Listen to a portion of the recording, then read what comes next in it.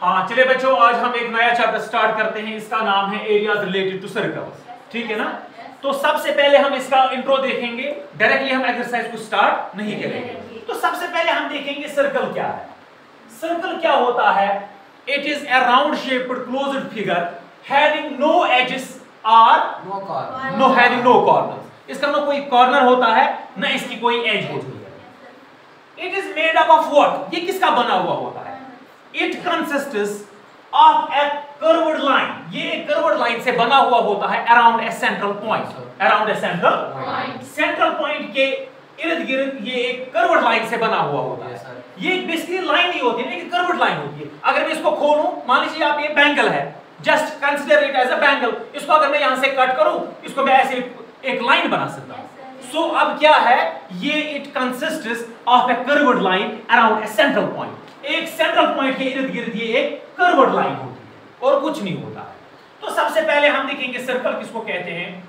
Circle it is shaped figure. It's a round shaped figure. लेकिन round shaped closed figure मुझे लगता है closed लफ्ज यहाँ पे ज़रूरी कहना क्योंकि देखिए ये भी राउंड shaped है ना? इज़ इट ए सर्कल क्यों? ये क्लोज्ड नहीं है। तो यहाँ पे मैं एक लफ्ज इस्तेमाल करूँगा। It's a round shaped closed figure having having no corners और एड्स इसके ना कॉर्नर्स होते हैं और ना एक्स होते हैं। जैसे हमारे पास क्वाड्रिलेटरल्स में होते हैं। एजेस भी होते हैं उनके पास कॉर्नर्स भी होते हैं। जैसे मैं यहाँ पे एक क्वाड्रिलेटरल बनाऊँगा।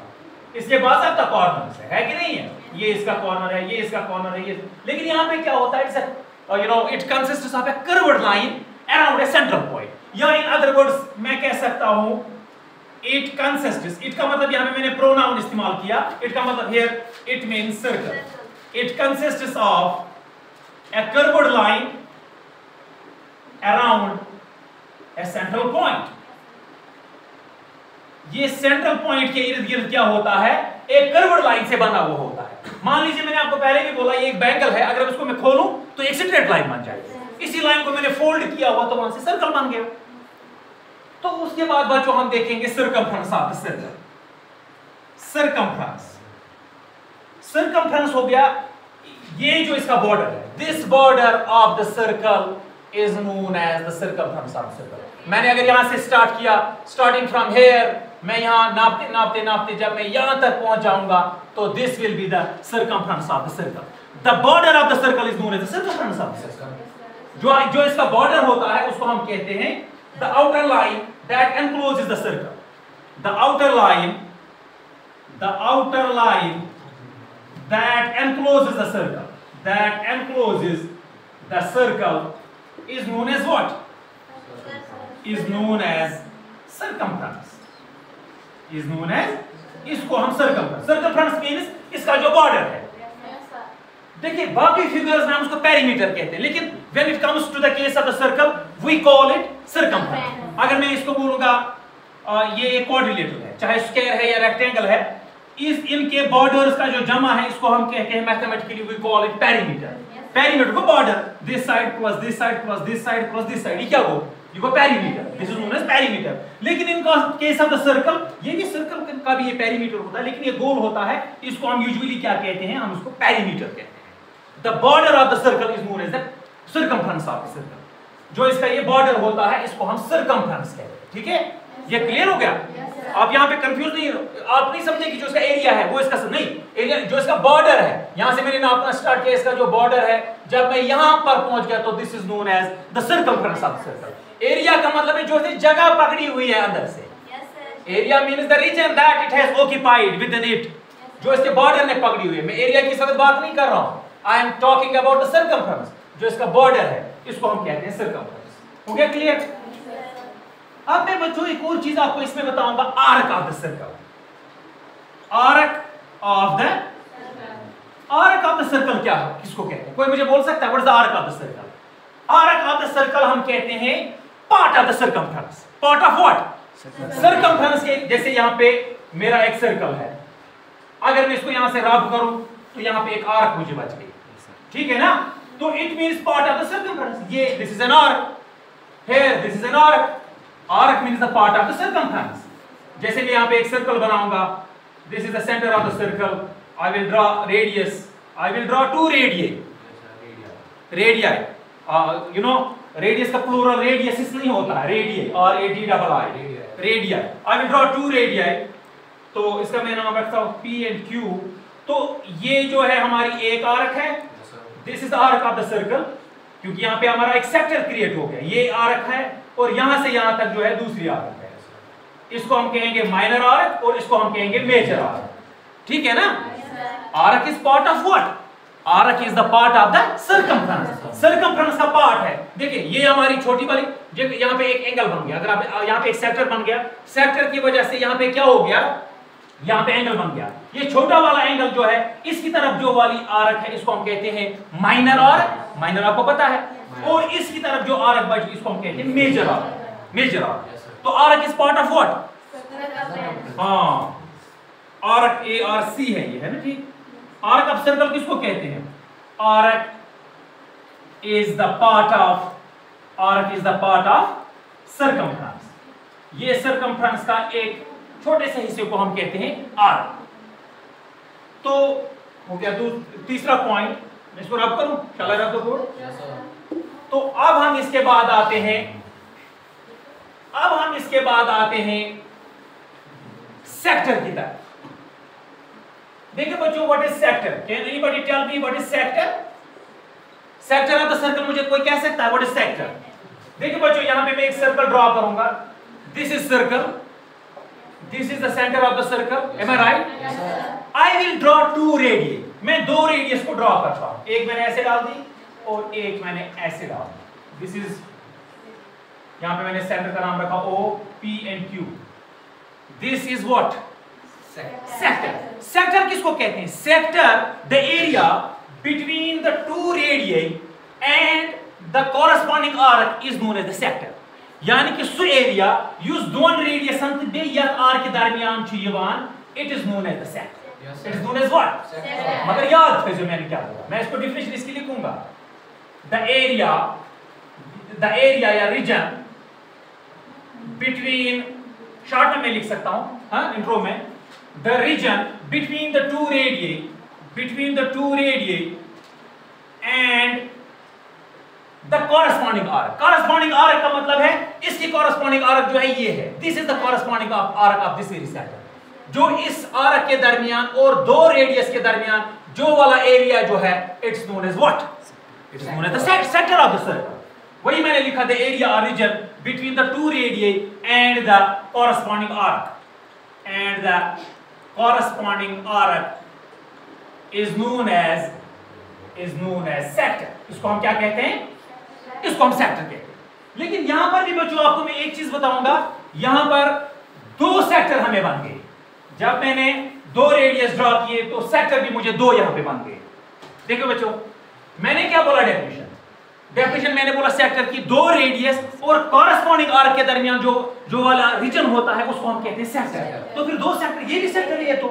देखो ये दो रेडियस है तो बुझो ये क्या है? This is radius this is what this is again radius तो ये इसका कॉरेस्पॉन्डिंग आ रखा है तो ये भी सेक्टर है ना? तब ये भी क्योंकि सेक्टर की डिफिनेशन में ये भी फिट हो रहा है।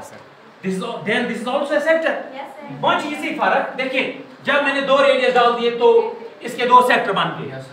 This circle got divided into two sectors अब यहाँ पे इसको कहते हैं मेजर सेक्टर देखिए यहाँ पे जो एंगल है ना ये छोटा एंगल होगा दिस एंगल ये वाला। इसकी तरफ़ जो वाला सेक्टर है इसको हम कहते हैं बच्चों माइनर सेक्टर इसको हम कहते हैं माइनर ईशा क्लियर का सा और ये वाला जो है जो बड़ा वाला एंगल की तरफ़ ये सेक्टर बच गया। तो ये इस रीजन इसका ज़मीन भी ज़्यादा इसकी होगी ना नेचुरली इसका एरिया भी ज़्यादा होगा। इसको हम कहते हैं this is known as major minor और मेजर पता है ना आपको? छोटा और बड़ा। इसको हम कहते हैं मेजर सेक्टर तो अगर आपको सेक्टर को एरिया निकालना होगा तो फार्मूला है pi square theta divide by 360 area of sector जो है वो है pi R sorry pi R square theta divide by 360 degree लेकिन अगर आपको बच्चों माइनर सेक्टर का एरिया निकालना होगा तो थीटा ये थीटा मींस एंगल यहाँ का एंगल गुड तो यहाँ का एंगल तब आपको देखा अगर आप इस माइनर सेक्टर का एरिया निकाल निकाल रहे हो तो आपको कंसीडर ये वाला थीटा उस टाइम करना है। अगर तुम कड़ान छु यह चीज़ हेरी चीज़ तम साथ ये और वुचन ये देख क्या एंगल बना। बस बाकी एरिया चाहे आप माइनर का एरिया निकालो या मेजर का एरिया निकालो formula will be same pi R square theta divide by 360 लेकिन अगर तुम या चुका थीटा ये रहेगा अगर वो तो एंगल वो वाला रहेगा। हो गया ये भी। अब बच्चों हम बात करते हैं एक और चीज़ होता है जिसको हम कहते हैं which is known as segment चीज़ आसान इसमें मैं जल्दी से बताने की कोशिश करूँगा सेगमेंट बच्चों मैं यहाँ पे फिर से I will again draw a circle here आसान हम सेगमेंट किसको कहते हैं? बुतरा कॉर्ड कॉर्ड मन मेरा अथ Yes, sir. Chord is a line joining the two points on the circle. Zı point का बस सर्कलस पर बुकर के मन join तथ वन को यस गो chord मगर chord गस circumference never गछुन chord should not go beyond the circumference of the circle ये गस अथि खत्म Yes, sir. मैं वनुवा chord chord त बे यस अमिश corresponding arc छ आ दरमियान युस जन एरिया छ वन अथ वन segment simply वुचो आई विल दिन ते कंफ्यूज गयो सेक्टर सेक्टर वन में दो रेडियस दो रेडियस बगुना बे देखें ऑफ़ सेक्टर दो रेडियस और कॉरस्पॉन्डिंग आर्क के दरमियान जो लैंड आता है इसको हम सॉरी जो रीजन आता है इसको हम कहते हैं यह सब वो सेक्टर मगर ये क्या छु कॉर्डस ते बे कॉरस्पॉन्डिंग आर्क के दरमियान युस जन रीजन छु वन अथ वना सेगमेंट सो सेगमेंट की डेफिनेशन क्या है? The area between the chord of the circle between the chord of the circle and the corresponding arc and the corresponding and the corresponding arc is known as what? Is known as Segment. segment. ये should be बिल्कुल simple आपको एक chord डालना कहीं से भी. You can draw a chord on any side of the circle आपने chord डाला और कॉर्ड से लेके उसकी जो कॉरस्पॉन्डिंग आ है टिप कॉर्ड इज़ कॉरस्पॉन्डिंग आ है. तो चल मिसाल के तौर पर चलिए मैं ये नहीं डालता हूँ. मिसाल भाई के नस्ती कॉर्ड पे कॉर्ड में कहीं से भी ड्रॉ कर सकता हूँ. इस कॉर्ड से लेके इसकी कॉरस्पॉन्डिंग आर्क जो है ये है. यू गो वन के लिए सेगमेंट और याद रखो बच्चों जब हम सेगमेंट डालते हैं चलो मैं यहीं पे रखूँगा ये ये सामने से थोड़ा आसान है ये वाला डालता हूँ। आई गई अथ ज सेगमेंट वन सनी सर्कल्स Yes, sir. यो कुन युसे बच्चों यू गो major segment And this minor. Is the major segment और ये वाला जो है this is minor segment is it clear इसको हम कहते हैं माइनर तो segment is what the area between the chord of the circle and the corresponding arc ये देखो मुझे देखो इसकी कॉरस्पॉन्डिंग आर्क ये इसकी कॉरस्पॉन्डिंग आर्क है। इसके दरमियान जो एरिया है इसको हम कहते हैं सेगमेंट ऑफ़ द सर्कल हो गया ये क्लियर चलिए बच्चों अब हम करते हैं काम। बहुत थोड़ा सा लंबा है तो इसलिए जल्दी करना पड़ता है। अब हम करेंगे बात कॉर्ड ऑफ़ द सर्कल पे थोड़ा सा डिस्कस करेंगे। कॉर्ड सेकेंड और टेंजेंट में आज मैं आपको अच्छी तरह से डिफरेंस बताऊँगा कि हम किसको कहते हैं कॉर्ड देखिए बच्चों, असल में कॉर्ड किसको कहते हैं?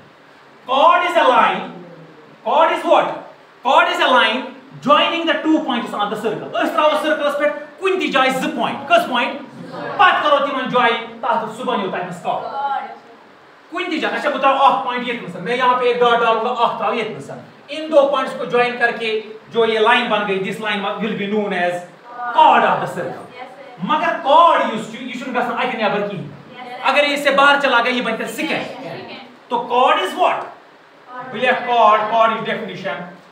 Chord is the line is the straight line मगर मगर इस स्ट्रेट लाइन ज़रूरी करो इस्तेमाल। उस मैं अगर ऐसे करूँगा बताओ बता कोई भी लाइन तो भैया मैं किस क्वेश्चन ऐसे ऐसे। इज़ इट अ कॉड ना ना आप इसलिए कर वो लफ्ज आप इस्तेमाल। देखो आपकी जो डेफिनेशन है technically it must be correct it must be what ये कैसे आसिम कह इसलिए code is a straight line joining joining the two points joining the two points on the circle joining the two points on the circle of the circle on the circum of the circle. Of the?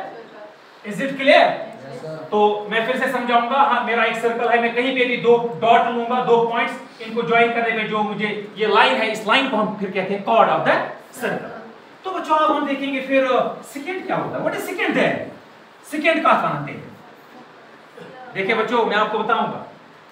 Second जो है it also second का मतलब है to intersect मुझे लगता है it has been derived from a Latin word secant means to intersect secant जो है एक ऐसी लाइन है ये भी इंटरसेक्ट करती है सर्कल को दो पॉइंट्स के कॉर्ड भी. लेकिन it goes beyond the circumference ये जो हमारा सेकंड है ये यहीं पे रुकता नहीं है.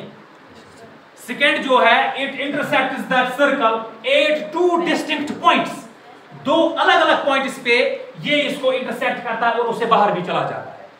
तो secant is what S E C A N T it's a line it's a line which intersects the circle which intersects the circle a two sorry a two distinct a two distinct points दो distinct points पे, पे ये इसको intersect करता है। इसके circumference पे ये नहीं रुकता। अगर मैं इसको रब करूँ ऐसे अब मेरा ये क्या बन गया? यही तो कार्ड बन गया।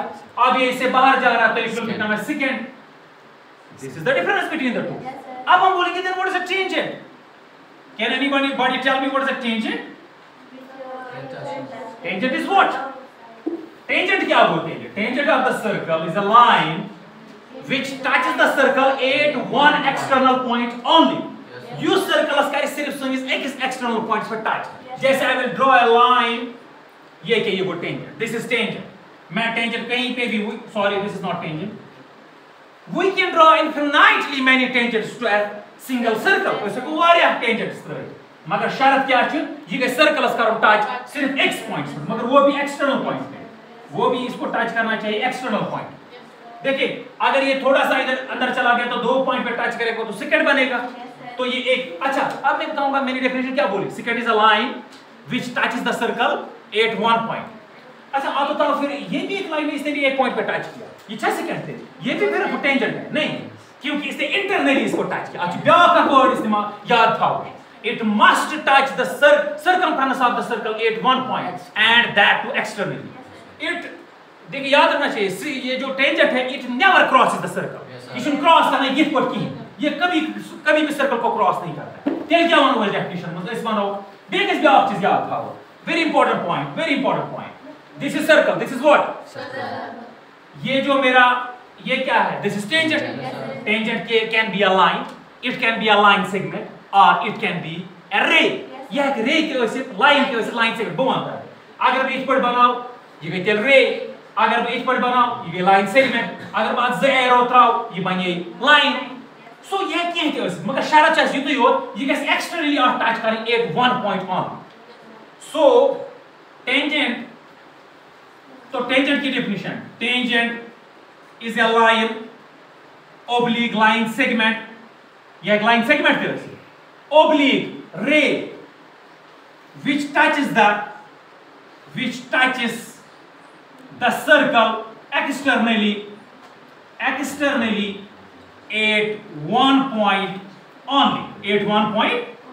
जब मैंने एक्सटर्नली लिखा, तब मैं इसको, ये, इसको मैं नहीं कह सकता हूँ, ये टेंजेंट है। मगर आज पे याद one one of last aspect है। तो इस तरीके से हम अपने इंट्रो को खत्म करेंगे। What is the difference between line line segment and ray आज पर कर थोड़ा। कुछ बोलता है। बच्चों, मैं आपको बताऊँगा व्हाट इज़ लाइन सबसे पहले मैं लाइन कहाँ बचपन में लाइन क्या हो line is the collection of so many points actually line क्या चाहता है ये चाहता कलेक्शन ऑफ़ डॉट्स यही पॉइंट्स मिलके एक लाइन बन जाती है। अच्छी वन लाइन अख वजूद एक्चुअली क्या होते हैं? It's a collection of points. It's a collection of infinitely many points. मगर, ये अत लाइन ना कुछ जाए ओरिजिन ना कुछ जाए इख्तिताम। तेल बनो वसी कोई लाइन क्योंकि जब इसका ना ओरिजिन है, ना एंड पॉइंट है, ना इसका स्टार्टिंग पॉइंट होता है, ना एंड पॉइंट होता है। लाइन को हम ऐसे डिनोट करते हैं। It is denoted like this line is a collection of infinitely many points, you know, going on on both the directions. You don't direction was hekan pakitar basically जो line है collection of points होती है। मगर ये दोनों direction में पता ना शायद एंड पॉइंट आसान, ना शायद स्टार्टिंग पॉइंट आसान। It can be produced in both the directions go line अगर कुछ है आपको line A B so go left it point A B F ट्राउन एक point one line A B it is denoted like this one होता है what is lines one one ray क्या रे has गो जिसका एक एंड पॉइंट मालूम होता है जिसका एक एंड पॉइंट जैसे रे ऑफ़ sunlight. सूरज की किरण sun. Is the origin. और इसका एंड पॉइंट हमें मालूम नहीं है अख एंड पॉइंट ये यहाँ हमें एरो बनाना। वी नो इट्स ओरिजिन मगर ये को ताई ज़मीन अगर ज़मीन ये और ट्रैवल करे। सो ज़मीन छुन एंड किए इसको हम रे कहेंगे। रे अगर डिनोट आस मगर रे थवन याद रे को हम कैसे डिनोट करते रे है तो डिनोट कर बी ए वही क्या ये बी से स्टार्ट होती है ए पे चली जाती है। इसका रिवर्स में हमें लिखना पड़ता है। डिनोटेड लाइक दिस ब्याख पत यथ वनान लाइन सेगमेंट। लाइन सेगमेंट जो इसको हम ऐसे डिनोट करते हैं। लाइन सेगमेंट का मतलब होता है जिसका हमें दोनों एंड पॉइंट्स मालूम है। जिसके हमें दोनों एंड पॉइंट्स मालूम है। ये यहाँ से जैसे सात सेंटीमीटर छह सेंटीमीटर एक लाइन सेगमेंट। तो हमें पता है यहाँ से शुरू हो गई यहाँ पे खत्म एक एंड पॉइंट इसका ये एक एंड पॉइंट इसका ये है। इसको मैं लाइन सेगमेंट कहूँगा। तो आप चीज़ को बेमुश्किल बच्चों, याद रखना चाहिए we can not measure line nor के nor a ray can be major ना हेको रे मेजर कर ना हेको लाइन कर मेजर सिर्फ़ जिस हेकर मेजर कर लाइन सेगमेंट क्या इसका हमें दोनों एंड पॉइंट्स जो है वो मालूम होते हैं तो अगर आपको लाइन ए बी लिखना होगा तो this is line segment A B और इस डिनोट कर पर लाइन सेगमेंट अगर इस रे आज डिनोट कर अ एरो त्राओ अगर इस लाइन आज डिनोट कर इस एरो त्राओ ना इस इसके दोनों एंड पॉइंट हमें मालूम नहीं है। या जैसा अ एंड पॉइंट मालूम या पर बस एरो लाइन सेगमेंट के हमें दोनों एंड पॉइंट्स जो है वो मालूम होते हैं। सो दीस आर अब हम उनमें ये तो मैं पे वो सेकंड्स पर वापस उसके बाद हम अपना खत्म करेंगे।